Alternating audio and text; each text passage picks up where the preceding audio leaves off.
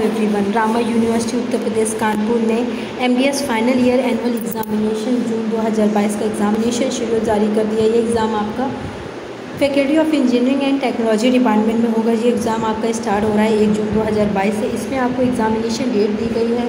Time दिया गया है। इसके साथ में आपको एक एग्ज़ाम होगा। ये तीन घंटे का एग्ज़ाम रहेगा। ऑफलाइन मोड भी एग्ज़ाम होगा। इसके साथ में आपको तीन घंटे की टाइमिंग का एग्ज़ाम रहेगा। दस बजे से लेकर एक बजे तक की टाइमिंग है। इस में आपको प्रोग्राम यानी कि आपके कोर्स का नाम एम डी एस होस्टर क्राउन रेजर होगा पीरियोडोलॉजी होगा, उसके साथ में आपका कोर्स नेम दिया गया एग्ज़ामिनेशन टाइम ड्यूरेशन दिया गया है उसके साथ में आपको इसमें देख सकते हैं आपका किस डेट पे ये एग्ज़ाम पड़ेगा, उसके साथ में आपको इंस्ट्रक्शंस दिए गए हैं।